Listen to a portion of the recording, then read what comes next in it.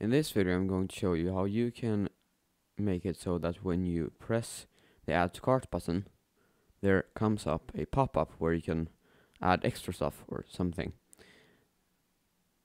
To do this you'll need to go to your WordPress dashboard then you need to go to pop-ups and I have already created a pop-up but if you haven't then do so.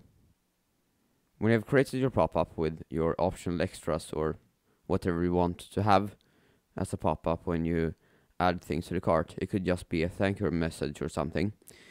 Then you need to go down to settings and you will see this pop-up settings. Uh, I have another language but who cares.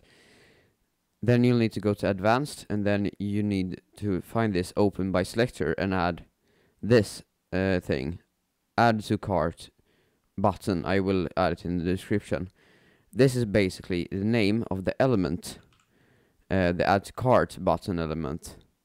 Uh, you can you can also find it if you go and to inspect and find the add to cart button. You'll see that here you have it, the add to cart button. Here you have it.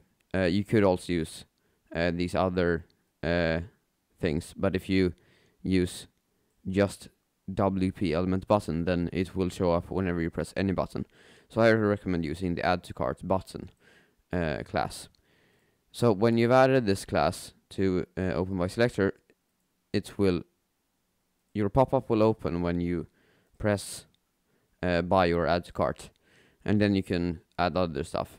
I have added a continue shopping and a uh, to checkout button here, but you can do whatever you want with this pop-up.